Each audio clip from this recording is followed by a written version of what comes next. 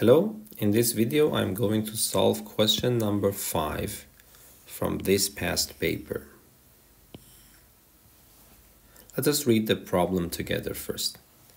The line with equation y equals to kx minus k, where k is a positive constant, is a tangent to the curve with equation y equals to minus 1 over 2x.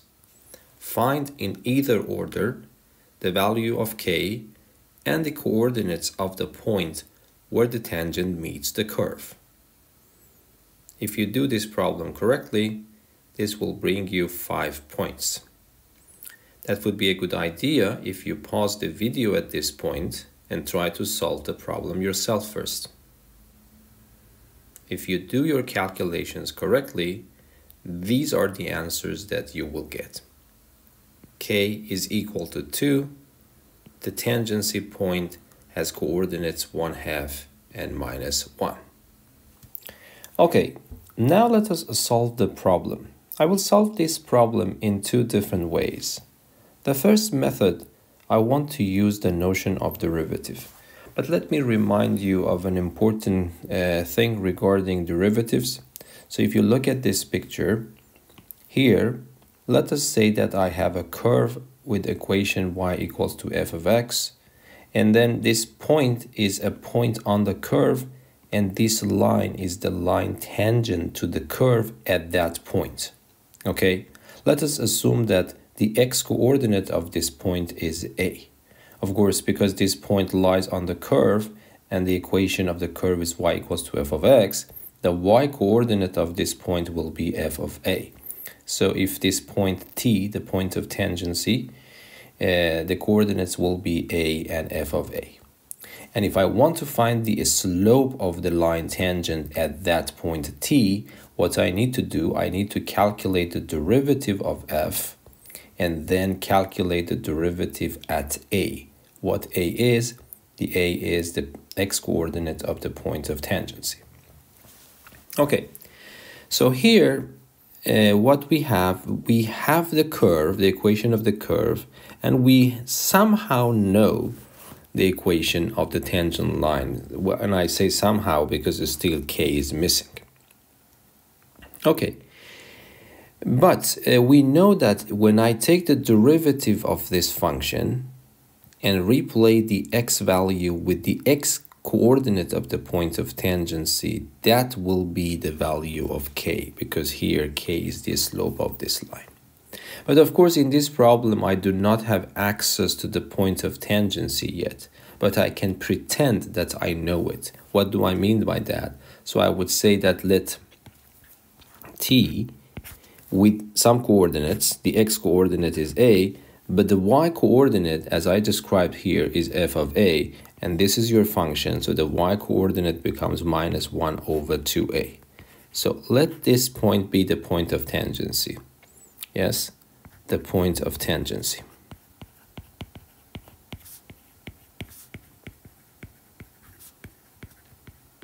Okay, but of course I still don't know a. But I can pretend that I know t, the coordinates, and I calculate the k value as usual. What do I mean by as usual? You take the derivative of this function. So the function y is equal to minus 1 over 2x. So you can write it as minus 1 over 2x to the power of minus 1. Then you can differentiate it. So minus 1 goes down. I will have 1 over 2 x to the power of minus 2. And I will write it with positive exponent as 1 over 2x squared.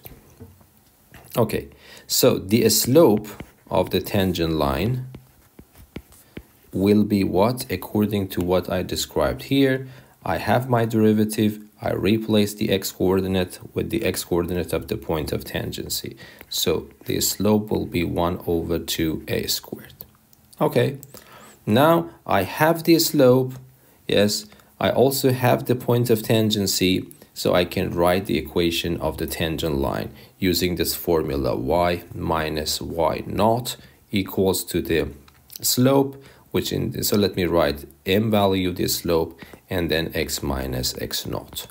So here I would write y minus y naught is y naught and x naught are actually the coordinates of any point on this line, tangent line. But of course, the point of tangency also lies on the tangent line. So this uh, can be used for y naught, and then this can be used by a naught for a naught, and m is of course this one.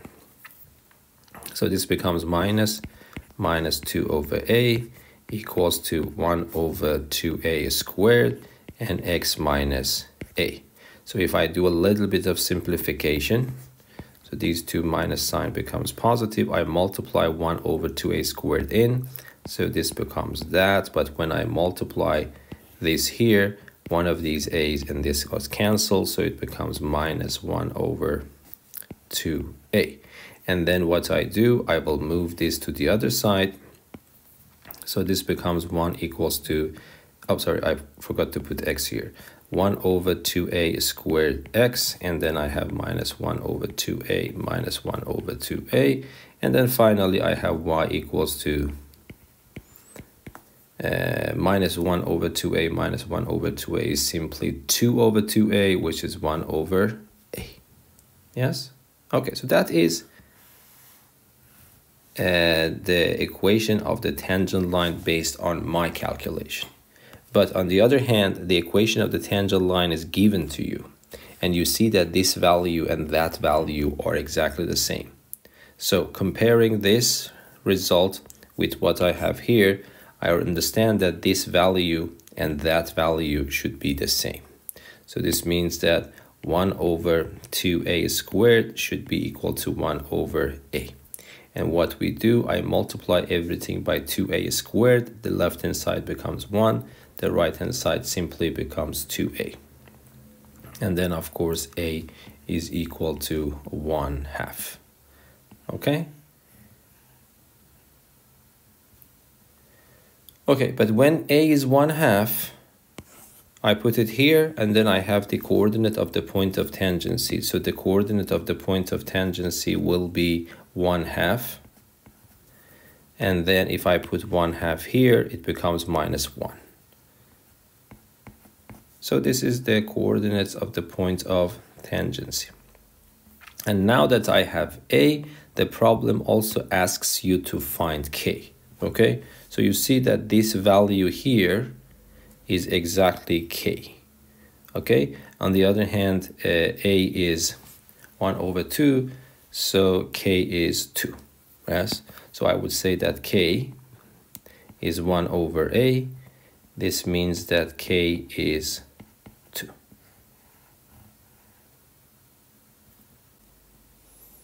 Okay, now I want to solve the same problem, but this time without using the notion of derivative. Okay, to explain this properly, so let me uh, draw the uh, graph of this function.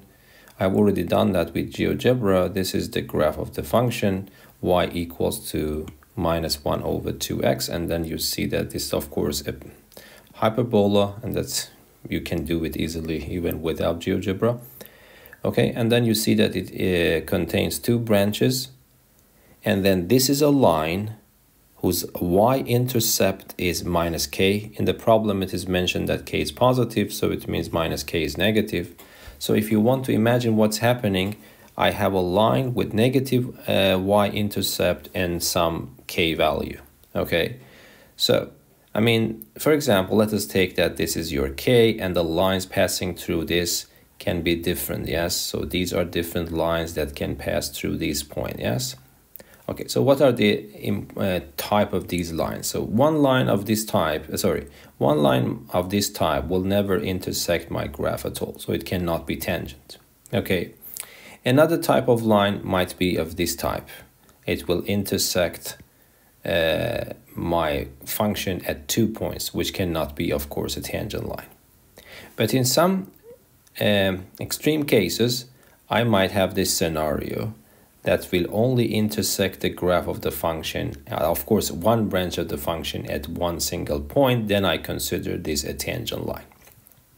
Okay, so I want to impose this condition uh, onto this function. How? I would say that, okay, I want to find the intersection points between this curve and this line. Okay, so how can I find the intersection point? I can solve a system of equations y equals to kx minus k on the one hand, on the other hand, y equals to minus 1 over 2x. So I equate the y values, so it becomes kx minus k equals to minus 1 over 2x. I multiply everything by uh, 2x, so the left-hand side becomes 2kx squared minus 2kx is equal to minus 1. I move minus 1 to the other side, then I have a quadratic equation. Okay, if I solve this quadratic equation, you know that there are three possibilities. Either I do not get any solutions at all, which is plausible. This is corresponding to these type of lines that does not intersect uh, the curve at any points. Or I get two answers and that is representing these type of lines that intersect my function at two points. But I want to have this line tangent to this. So it means that I have to force this equation to have exactly one solution. Okay, because if it doesn't have any solutions, it means that this function, this line does not intersect uh, with my function at all, which cannot be tangent. If it intersect the function at two points from the picture, you realize that it should be a secant to this function, which cannot be a tangent. So the only possibility for this line to be tangent is that this equation has exactly one single root. Or because this is a quadratic equation, it should have a double root. Okay, and you know that in order for this equation to have a double root, its discriminant delta should be equal to zero. So this means that minus 2k squared, b squared minus 4ac, but you know that this is your b this is your A and this is your C. So this becomes minus 4 times A times C should be equal to 0. Then I get 4k squared minus 8k equals to 0. And what I do, I factor 4k out. Then I will have uh, k 2 equals to 0. So I will get two answers. Either k is equal to 0 or k is equal to 2.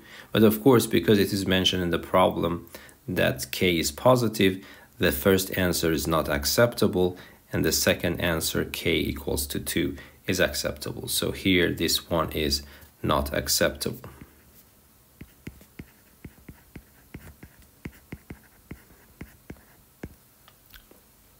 Of course, you can also see why it's not acceptable from graph. If k is equal to 0, then y becomes equal to 0. y equals to 0 is this line. So, of course, uh, you know that this is a horizontal asymptote for the function. And horizontal asymptote is also can be viewed as tangent uh, line, but at infinity. So this is not a proper tangent line. So k equals to 2 is the only acceptable answer.